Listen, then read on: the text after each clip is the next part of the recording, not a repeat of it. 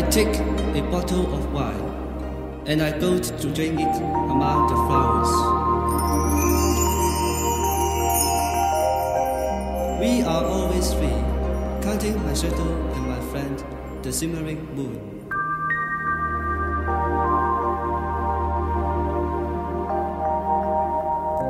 Happily, the moon knows nothing of drinking, and my shadow is never thirst.